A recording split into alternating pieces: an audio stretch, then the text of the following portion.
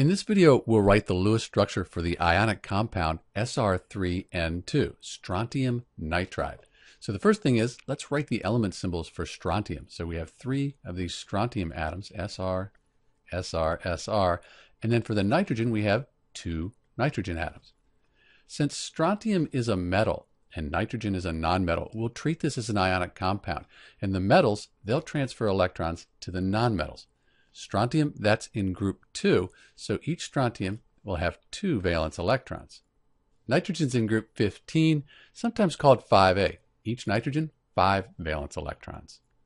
So we said the metal will transfer electrons to the nonmetal since we have an ionic compound here.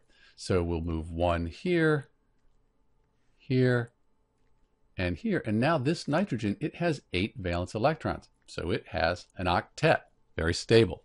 We have three more electrons. We'll move them over to this nitrogen. At this point, each nitrogen has eight valence electrons. It has an octet. The strontium, each strontium lost two valence electrons. Since electrons are negative, it lost two negative charges. Each strontium now has a 2 plus ionic charge. The nitrogen atoms, they each gained three electrons. They'll have 3 minus as their ionic charge. And we want to show that those electrons were transferred. They're not shared like in a covalent bond. Since they're transferred, let's put brackets around each nitrogen. So this is the Lewis structure for Sr3N2, strontium nitride. You'll note that this is what we call a formula unit.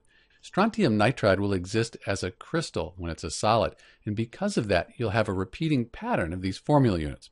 But this gives us a good idea about how the electrons are transferred from the metal to the nonmetal in the Lewis structure of Sr3N2, strontium nitride. Thanks for watching.